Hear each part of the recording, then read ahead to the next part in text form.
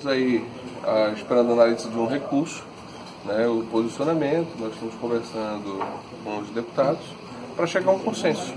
E aí, depois da resposta, que a gente vai decidir o que, que vai ser feito realmente sobre as votações. Esse é o caminhamento. Do que se trata esse é, recurso? Que é?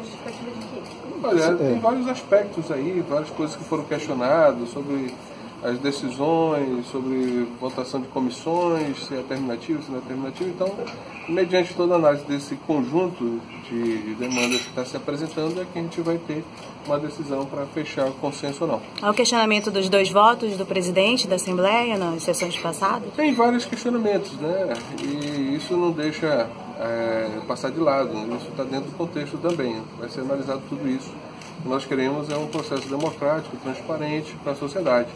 E o maior questionamento aqui é referente a essa questão da votação, né? É, você acha que tem votação hoje? Acho que vai, ser, vai a Nós votação estamos hoje? aguardando, pode ser hoje, pode ser amanhã. Então, até dia 31 a gente está aberto para conversa, nós estamos conversando, é, somente com a base, com alguns deputados, esse é o entendimento. Então, o final de semana foi intenso, de conversas, e estamos aqui hoje para ver se chega ao consenso.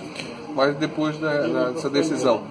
A negociação tá unida, da dívida do BNDES foi perdida, né? O que o governo vai fazer agora? Não, a questão tudo é proforme. Foi votado né, essa questão, isso já está decidido.